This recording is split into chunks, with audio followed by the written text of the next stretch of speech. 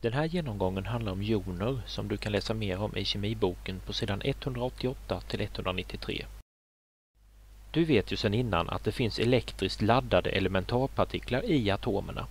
Det finns protoner med en positiv laddning i kärnan och elektroner med en negativ laddning i elektronskal utanför kärnan. Atomer har alltid lika många elektroner i sina elektronskal som protoner i kärnan. Protonernas plusladdningar i kärnan och elektronernas minusladdningar, ja de tar ut varandra och atomen är oladdad. Det finns en annan partikel som är lika vanlig som atomer. Den kallas jon och bildas av atomer som tar upp eller lämnar ifrån sig elektroner. En jon är inte oladdad som atomen utan har en elektrisk laddning. Ämnen med åtta elektroner i sitt yttersta skal, alltså med åtta valenselektroner, de är stabila. Helium är också stabilt eftersom heliums skal är fullt när det innehåller två elektroner. Ädelgasstruktur innebär atomer, att atomen är så stabil att den inte reagerar med andra ämnen. Genom att lämna eller ta upp elektroner så kan alla atomer få ädelgasstruktur. Atomer som har få valenselektroner, alltså få elektroner i sitt yttersta skal, kan släppa dem och få ädelgasstruktur. Då blir de positiva joner eftersom de har fler protoner än elektroner. Alkalimetallerna i grupp 1 har en valenselektron i sitt yttersta elektronskal. Genom att släppa elektronen så får de ädelgasstruktur och blir en positiv jon med laddningen 1+. Ett exempel är natriumatomen som då kan släppa ifrån sig sin enda valenselektron och bilda en natriumjon som då förkortas Na eller Na1+. Grundämnena i grupp 2, alltså de alkaliska jordartsmetallerna, de har två valenselektroner i sitt yttersta elektronskal. Genom att släppa dem så får de ädelgasstruktur och blir joner med laddningen 2 ett exempel är magnesium som har två valenselektroner. Om de släpper dem så bildar de en magnesiumjon med laddningen 2 Man skriver det som Mg2 Atomer som har många valenselektroner i sina yttersta elektronskal kan istället ta upp elektroner. Då får de ädelgasstruktur och blir negativa joner med fler elektroner än protoner. Grundämnen i grupp 16, kalkogenerna, har sex valenselektroner i sitt yttersta skal. De saknar alltså två elektroner för att få ett fullt yttre elektronskal. Genom att ta upp två elektroner så får de ädelgasstruktur och blir joner med laddningen 2 minus.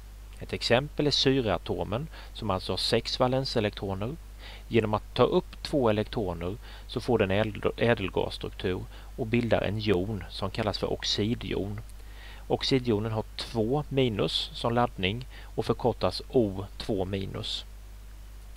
Grundämnena i grupp 17, halogenerna, har sju valenselektroner i sitt yttersta skal. De saknar alltså en elektron för att få ett fullt elektronskal.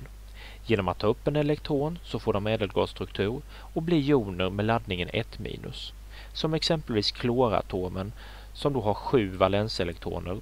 När den tar upp en elektron så får de fullt yttersta yttre skal, alltså ädelgasstruktur och bildar en kloridjon med en negativ laddning.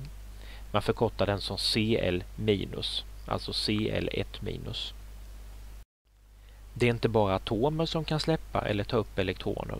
Det kan också hela molekyler. Sådana laddade molekyler kallas sammansatta joner.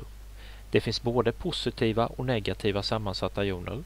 En positiv sammansatt jon det är ammoniumjonen, NH4+, som består av en kväve och fyra väteatomer.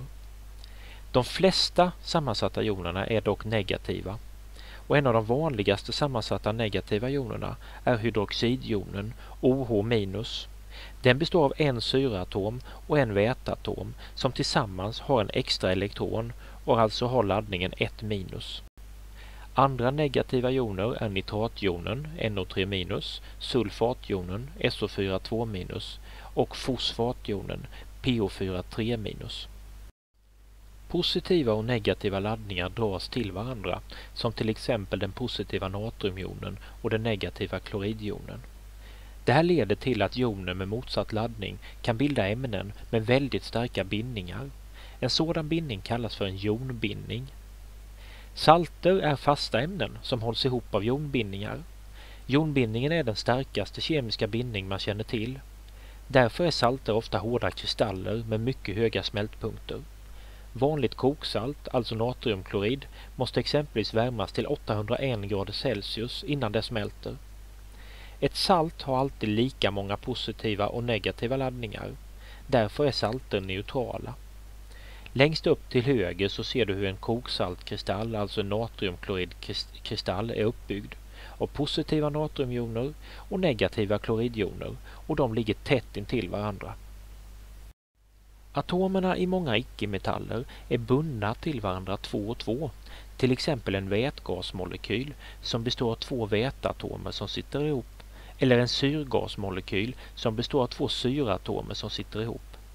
De kan inte skaffa sig ett fullt yttersta elektronskal genom att dra till sig elektroner från varandra. Istället fungerar det så att en del av deras valenselektroner blir gemensamma för båda atomerna. Elektronerna hör varken till den ena eller den andra av atomerna utan till båda. Det här kallas för elektronparbindning eller kovalent bindning och innebär att två atomer delar på två elektroner, alltså på ett elektronpar. Atomer som håller ihop med elektronparbindning bildar molekylföreningar, till exempel vätgas och vatten. I vätgas så har vardera atomen en valenselekton i sitt k-skal. Eftersom elektronerna är rörliga så kan väteatomerna dela på de två elektronerna. Detta gemensamma elektronpar skapar en elektronparbindning eller en kovalent bindning. Och på så sätt så får bägge väteatomerna två elektroner i k-skalen och därmed fyllda elektronskal. I kvävgas så har vardera atomen fem valenselektroner i sina L-skal. Eftersom elektronerna även här är rörliga så kan kväveatomerna dela på sex elektroner. Dessa tre gemensamma elektronpar skapar därför tre elektronparbindningar eller tre kovalenta bindningar och på så sätt får bägge kväveatomerna åtta elektroner i sina elskal och därmed fyllda elektronskal.